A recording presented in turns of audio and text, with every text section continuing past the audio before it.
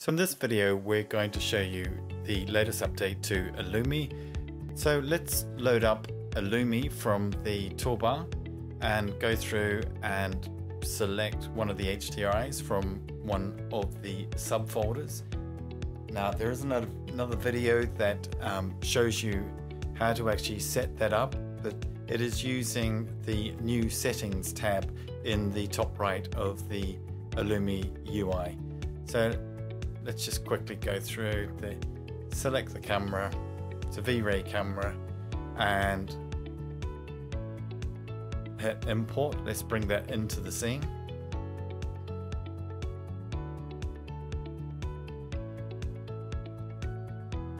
Okay so just bring down the logo size so we can see it in the viewport. Um, click the plus sign and let's bring it in another HDRI this time from another NoEmotion one. Um, that sort of cloudy shot there, that looks quite good. So again, pick the camera.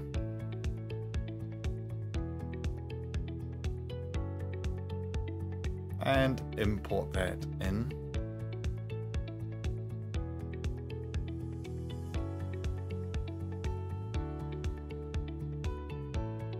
And let's do another image Again, let's just pick another NoEmotion one. Something that looks different so I can actually demonstrate the doing look dev with Illumi, different HDRIs. So let's do this nice sunny, well, dusk shot. Click on the camera and then click import and that will bring it into the scene. So here we have on the right hand side in the Illumi compass we've got all three loaded in.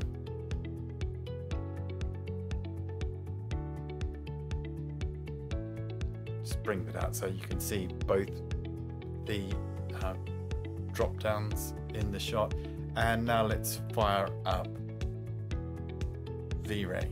So if we start progressive or IPR rendering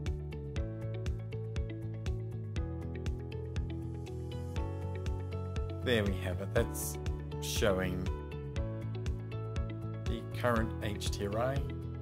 Let's just click through, rotate the HDRI around. That looks all right. You may want to adjust the f-stop, but if I click on the, double click on the next one, the sunset. Now what I'm able to do here is let's rotate that to a different position.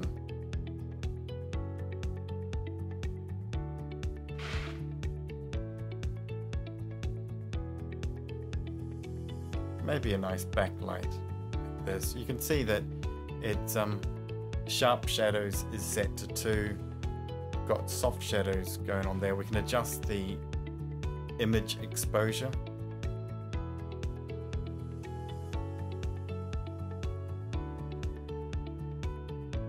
And let's go now through to the third HDRI and set that up. So each one of the HDRIs now has a separate setting. So for example, let's just, we'll rotate this around in another position.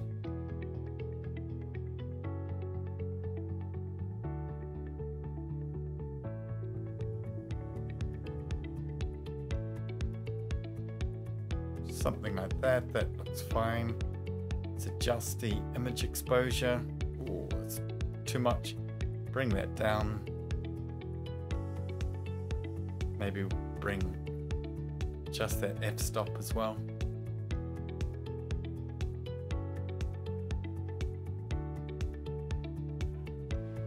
Okay, so we've set those up. Now we can click through each one of the HDRIs and look dev you're seeing. So we've got three in there. They're all set up with completely different settings and that seems to be working nicely. So now let's move on to maybe dressing the scene up a, a bit more. So we'll stop the rendering.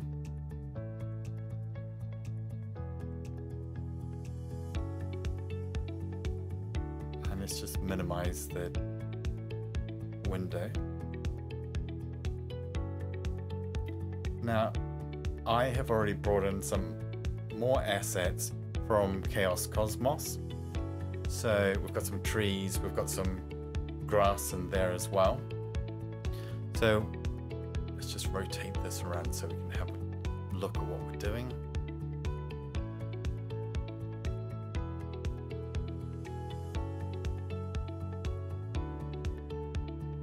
Okay, so now let's bring in, um, let's start with scatter. So drag the icon out in the any of the viewports and then we'll drag out a disperse icon. So select scatter, uh, go up to the modify tab and let's pick the mesh that you want to scatter onto. Now I have a localized mesh because I don't want to spread the uh, small grasses over a massive area. So let's just pick that. And these are little flowers. Um, so that's brought into the scene. Now let's fire up the interactive renderer just so we can have a look at that. Um, you can see it's a very flowery scene. Um, but maybe we just bring down those the object count so it's a bit more realistic.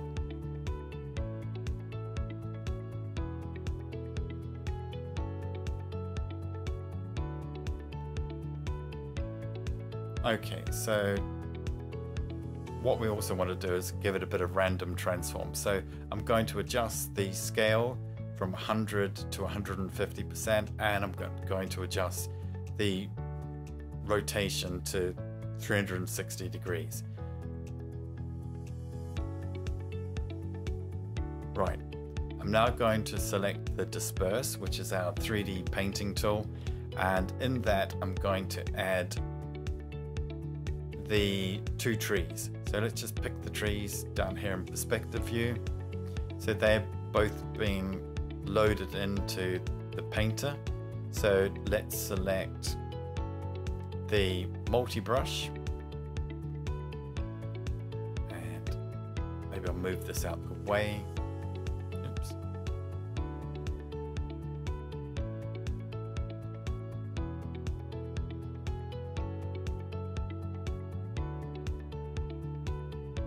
want to bring that brush size down because it's too big.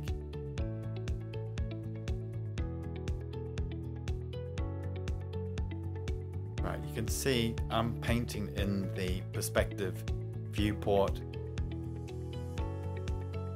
Let's just move that down. We'll paint in the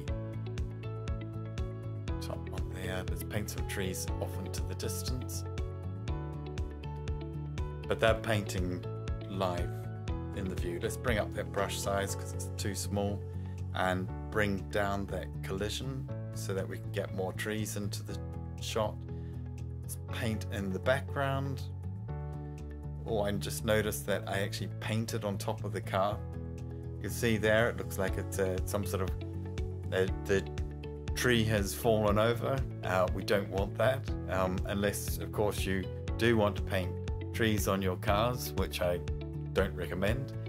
Um, that's quite easy to fix. All we need to do, do that in a second, um, is bring the brush size down. And we go, we select the erase tool, and now you can actually just paint out objects that you don't want. So there you go, I've cleaned that up. And let's, in the bottom viewport, let's actually add some more trees. So select the multi-brush, bring up the brush size, make it a little bigger. And you don't, the good thing with disperse is you don't actually need to select an object to paint. So you can just paint in, in your viewport and it's going to automatically align to the object itself. So there you have it. There's using scattered on localized um, areas. We've scattered some grasses and then we've used dispersed to paint in the trees. Now the next exercise we're going to use Chaos Vantage and I'll show you the same thing. I hope you enjoyed this. Thank you very much.